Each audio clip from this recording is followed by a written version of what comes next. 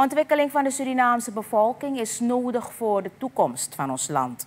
De Academy for Leadership wil daarom de nodige vaardigheden aanreiken om dit proces te ondersteunen. Dit zegt Prakash Ramsingh, initiatiefnemer van de academie, tijdens een laatst gehouden virtuele informatiesessie voor belanghebbenden. Deze trainingen moeten bijdragen tot aanscherping en vorming van Surinaamse experts. Uh, Suriname is natuurlijk een heel rijk land en ik, ik ga deze sheets vervatten in, in, in, een paar woorden. We kunnen het gewoon allemaal lezen. De functie van toezichthouder en van, uh, is een zeer complexe en, en veelomvattende functie. Wordt heel vaak onderschat.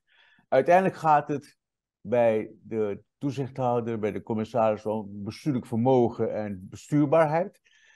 Uh, relatie, toezicht, directie en personeel wordt steeds cruciaal heel erg belangrijk.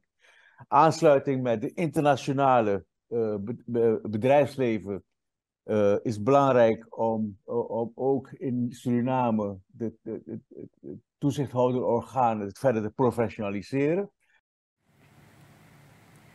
Dit traject zal verder moeten resulteren in betere inzichten op professioneel niveau, zegt pedagoog Indra Balwant.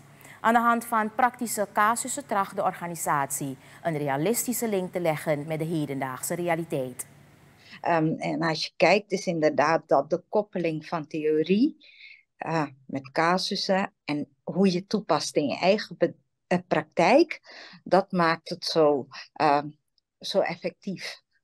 Dan, ja. dan het beklijven en dan heb je ook echt iets van, hier kan ik wat mee, hier kan ik verder mee komen.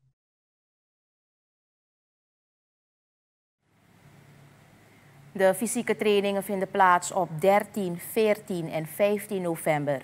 Hierna zal er een terugkomst worden gehouden waarbij er gekeken zal worden naar mogelijke verbeterpunten.